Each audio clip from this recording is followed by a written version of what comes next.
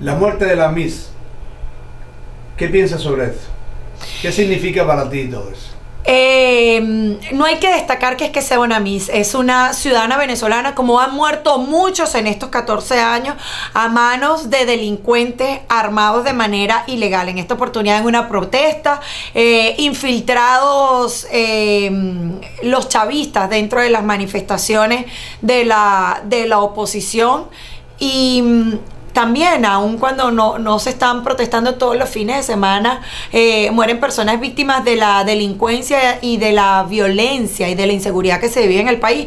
Otra Miss, Mónica Spear, actriz, eh, hace unos pocos meses también murió en una arteria eh, vial de Venezuela que recorre el centro del país víctima de la delincuencia. Eso pasa todos los días y no le pasa a la mí, le pasa a Pedro, le pasa a Juan, le pasa a José, le pasa al rico, le pasa al pobre.